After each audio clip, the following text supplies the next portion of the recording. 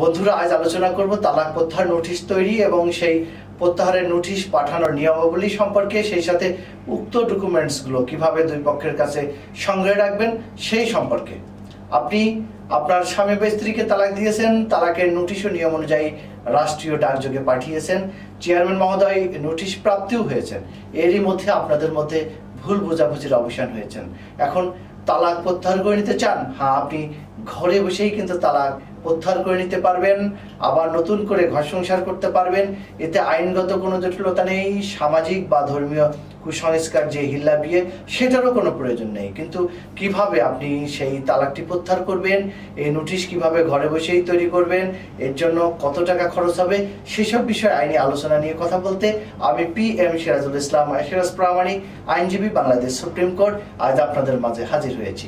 তবে মূল আলোচনা শোনার আগে আমাদের লটিপস বিডি চ্যানেলটি সাবস্ক্রাইব করুন বেল বাটনে ক্লিক করুন।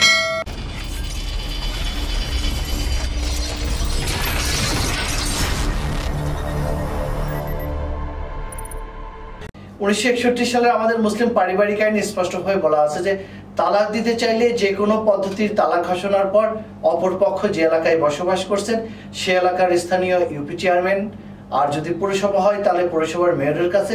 আর সিটি কর্পোরেশন হলে সিটি কর্পোরেশনের মেয়রকে লিখিতভাবে তালাকের নোটিশ দিতে হবে। সেই সঙ্গে তালাক গ্রহীতাকে অর্থাৎ যাকে আপনি তালাক দিচ্ছেন, তাকে কিন্তু তালাকের নোটিশের একটি কপি প্রদান করতে হবে। এরপর নব্বই দিন অতিক্রান্ত হয়ে গেলে আপনা আপনি কিন্তু আপনার সেই তালাকটি কার্যকর হয়ে যাবে। আর নব্বই দিন অতিক্রান্ত হওয়ার আগে যদি স্বামী স্ত্রী মনে করেন তাদের মধ্যে ভুল বুঝাবুঝির অবসান হয়েছে, তাহলে তালাকের যে নোটিশটা দিয়েছেন সেটা প্রত্যাহার করে নিলেই তালাকটি প্রত্যাহার হয়েছে বলে গণ্য হবে। এই জন্য নতুন করে আর বিয়ের প্রয়োজন হবে না। আর যদি নব্বই দিন পার হয়ে যাওয়ার পরে যদি আপোষ মীমাংসা হয়, তাহলে কিন্তু আপনাদের পুনরায় বিয়ে করে নিতে হবে। এই জন্য সামাজিক কিংবা ধর্মীয় কুসংস্কার, হিল্লা বিয়ের কোনো প্রয়োজন নেই। এখন জানার বিষয় হচ্ছে যে তালাক আপনি কীভাবে প্রত্যাহার করে নেবেন? খুব সহজ বিষয়। আপনি যে চেয়ারম্যানকে তালাকের নোটিশ দিয়েছেন, সেই লিখিতভাবে তালাক প্রত্যাহার ঘোষণাটি সেই চেয়ারম্যানকে আপনি অবগত করুন এবং তাতে রিসিভ এবং সিল স্বাক্ষর করিয়ে নিন। অর্থাৎ সালিসি পরিষদকে তালাক প্রত্যাহারের ঘোষণাটি জানিয়ে দিলেই হবে। জানানোর কাজটি আপনি সরাসরি সেই পরিষদে গিয়ে লিখিত আকারে জানালেও হবে। আবার রাষ্ট্রীয় ডাকযোগে এটি সহযোগে আপনি যেভাবে তালাকের নোটিশ পাঠিয়েছিলেন, সেইভাবে তালাক প্রত্যাহারের নোটিশটি পাঠিয়ে দিলেই হবে। এরপর তালাক প্রত্যাহারের রিসিভ কপি বা প্রত্যাহার সংক্রান্ত ডকুমেন্টস উভয় পক্ষের নিকটই সংরক্ষণ রাখুন, যাতে পরবর্তী সময়ে স্বামী বা স্ত্রী প্রত্যাহারের বিষয়টি কেউ অস্বীকার করতে না পারে। আবার তালাক প্রত্যাহারের ঘোষণাটি অবগত হওয়ার পর সালিসি পরিষদ অর্থাৎ চেয়ারম্যানকেও কিন্তু আপনি তালাক প্রত্যাহারের আদেশটি জারি করতে অনুরোধ করতে পারেন। সেক্ষেত্রে উক্ত আদেশের সার্টিফাইড কপি সংগ্রহ করে উভয় রক্ষই কাছে রাখতে পারেন। আর যদি স্ত্রী তালাকে নোটিশ পাঠানোর সময় গর্ভবতী থাকেন, তাহলে সন্তান প্রসবের আগে যে কোনো সময় আপনি তালাকটি প্রত্যাহার করে নিলেই হবে, আবার সংসার করতে পারবেন। আর সন্তান জন্মদানের পরে যদি সংসার করতে চান, তাহলে আপনাদেরকে পুনরায় বিয়ে করে নিতে হবে। আর কেউ যদি তালাক না দিয়েও নানা অভিমানের কারণে স্বামী এবং স্ত্রী আলাদাভাবে বসবাস করেন, তাহলে তারা নতুন করে একত্রে থাকার একটি ঘোষণা দিলেই নতুন করে আবার সংসার শুরু করতে পারবেন। এতে আইনগত কোনো বাধা নিষেধ নেই।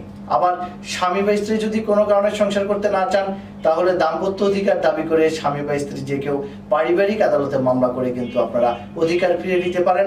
আর যদি ভাঙা সংসার নতুন ভাবে জোড়া লাগে, তাহলে তারা আগের মতোই স্বামী স্ত্রী পরিচয় পাবেন, আগের মতোই সন্তানের খোরপোশ, দেনমহর এবং অন্যান্য যাবতীয় যে অধিকার, সেই অধিকারগুলো পাবেন। এতে আইনগত কোনো বাধা বা জটিলতা নেই। এখন আমরা জানব যে কীভাবে আপনি সেই তালাকের প্রত্যাহারের নোটিশটি লিখবেন। আপনি চেয়ারম্যানকে সম্বোধন করে এভাবে লিখুন যে, বরাবর চেয়ারম্যান, জানিপুর ইউনিয়ন পরিষদ, কুষ্টিয়া বিষয় গত এতইন তারিখের আপনার বরাবর প্রেরিত তালাক নোটিশটি প্রত্যাহার প্রসঙ্গে এরপর লিখুন, জনাব সবিনা নিবেদনে যে আমি মোসাম্মদ অমক। এরপর আপনার পূর্ণাঙ্গ নাম, ঠিকানা লিখুন। এরপর লিখুন যে আমি গত এতইন তারিখে আমার স্বামী অমককে তার পূর্ণাঙ্গ নাম, ঠিকানা লিখুন, যে রাগের বশবর্তী হয়ে তালাক প্রদান করি। এরপর আমাদের মধ্যে ভুল বুঝাবুঝির অবসান হয়। আমি আপনার নিকট প্রেরিত তালাক নোটিশটি প্রত্যাহার করে নেওয়ার সিদ্ধান্ত নিয়েছি। এভাবেই লিখতে পারেন। এরপর তালাক প্রত্যাহার নোটিশ লিখতে এবং সংশ্লিষ্ট দপ্তরে পাঠাতে এবং তালাক প্রত্যাহার কার্যকর করতে যদি আপনি অপারগ হন তাহলে আমাদের ইমেল, হোয়াটসঅ্যাপ কিংবা ইমোতে নাম ঠিকানা পাঠিয়ে দিন।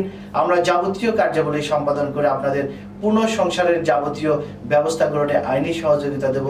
সম্মানিত ভিউয়ার্স এই সম্পর্কে যদি আপনাদের আরও কিছু জানার থাকে, তাহলে আমাদের কমেন্ট বক্সে উল্লেখ করুন। আমরা সেই সকল বিষয়ে ভিডিও নিয়ে আপনাদের মাঝে ফিরব এবং আপনাদের আইনগত সহায়তা দিতে আমরা বদ্ধপরিকর। সম্মানিত ভিউয়ার্স এই সম্পর্কিত আরও যদি আপনাদেরকে জানার থাকে, তাহলে আমাদের কমেন্ট বক্স উল্লেখ করুন। আমরা সেই সকল বিষয়ে ভিডিও নিয়ে আপনাদের মাঝে ফিরব। আজ এ পর্যন্তই। সবাই ভালো থাকবেন, সুস্থ থাকবেন। আমাদের চ্যানেলটিতে সাবস্ক্রাইব করতে ভুলবেন না।